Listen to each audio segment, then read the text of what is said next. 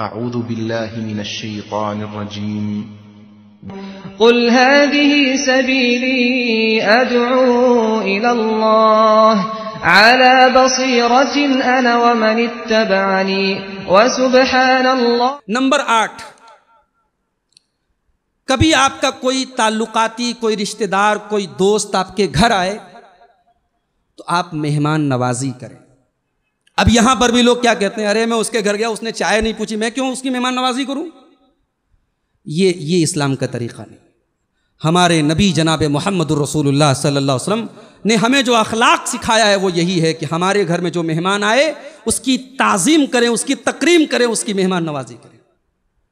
آپ جانتے ہیں، ہمارے نبی صلی اللہ علیہ وسلم کے اوپر جب غار ہیرا میں قرآن کی پہلی پانچ آیتیں نازل ہوئی تھیں اور اللہ نے آپ کے اوپر رسالت کی ذمہ داری ڈالی تھی۔ آپ گھبرائے گھبرائے گھر آئے اور آپ نے حضرت خدیجہ سے کہا، زملونی زملونی۔ اے خدیجہ، مجھے چادر اڑاؤ۔ اے خدیجہ، مجھے کمبل اڑاؤ۔ گرمی کا موسم ہے، لیکن اللہ کے پیارے نبی سردی سے کانپ رہے ہیں۔ حضرت خدیجہ دوڑی دوڑی جاتی ہیں، چادر لاتی ہیں، کمبل لاتی ہیں اور نبی اکرم کو چادر اڑاتی ہیں۔ اے اللہ کے رسول، کیا اے میرے شوہر، کیا بات ہے؟ اللہ کے پیارے نبی، پورا ماجرا اپنی بیوی کو سناتے ہیں اور پوری بات سنانے کے بعد کہتے ہیں، لقد خشی تو اعلیٰ نفسی۔ اے خدیجہ، اے میری بیوی، مجھے یہ ڈر لگ رہا ہے، کہیں میرا انتقال نہ ہو جائے، کہیں میری جان نہ چلی جائے۔ آپ اتنی گھبراہٹ میں، اس ذمہ داری کے بوجھ سے آپ اتنے گھبرائے ہیں، آپ کہہ رہے ہیں کہ اے خدیجہ، مجھے ڈر ہے، کہیں میری جان نہ نکل جائے۔ لیکن حضرت خدیجہ رضی اللہ تعالیٰ نا ایک بہترین بیوی کا کردار ادا کرتی ہیں اور جواب دیتی ہیں کلّہ واللہ ما یخزی کلّہ ابدا. اے میرے سرتاج، اللہ تعالیٰ آپ کو کبھی رسوا نہیں کرے گا، کبھی ذلیل نہیں کرے گا۔ اللہ تعالیٰ آپ کو اگر آپ کے اوپر یہ ذمہ داری اللہ نے ڈالی ہے تو ضرور یہ ذمہ داری آپ کے ذریعے پوری ہوگی۔ ان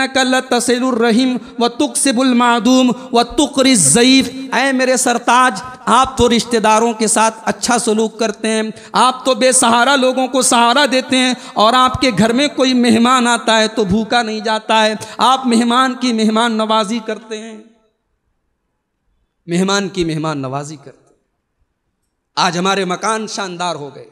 گھروں میں ٹائلز لگ گئے باتھ روم میں ٹائلز لگ گئے، گھروں میں اے سی لگ گئی۔ ہم نے ترقی کر لی، مگر اللہ کی قسم ہمارے دل چھوٹے ہو گئے۔ ہمارے دل چھوٹے ہو گئے۔ آج مہمانوں کا آنا باعث برکت نہیں، بلکہ مصیبت ہمارے ہمارے، خاص طور سے ہماری مائیں بہنیں مصیبت سمجھتی۔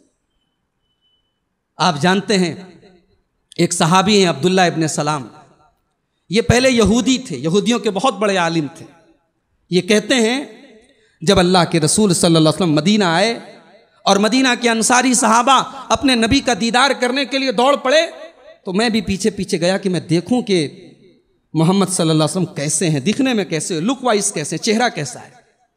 کہتے، جب میں نے اللہ کے رسول کا چہرہ دیکھا، تبینت، تو میں سمجھ گیا کہ یہ چہرہ کسی جھوٹے کا چہرہ نہیں ہو سکتا۔ نبی کا چہرہ گواہی دے رہا تھا کہ یہ سچے کا چہرہ ہے، یہ کسی کذاب کا چہرہ نہیں ہو سکتا۔ اور کہا کہ جو پہلا جملہ، جو پہلی بات میں نے اپنے نبی محمد الرسول اللہ صلی اللہ علیہ وسلم کی زبان سے سنی، وہ کیا سنی تھی؟ ایوہ الناس ابش السلام وَأَطْعِمُ الطَّعَامِ وَسَلُّوا بِاللَّيْلِ وَالنَّاسُ نِيَامِ تدخل الجنت بسلام۔ یہ نبی کی زبان سے پہلا ارشاد میں نے سنا کہ آپ نے فرمایا، اے لوگو سلام کو پھیلاؤ۔ ابش السلام، سلام کو پھیلاؤ۔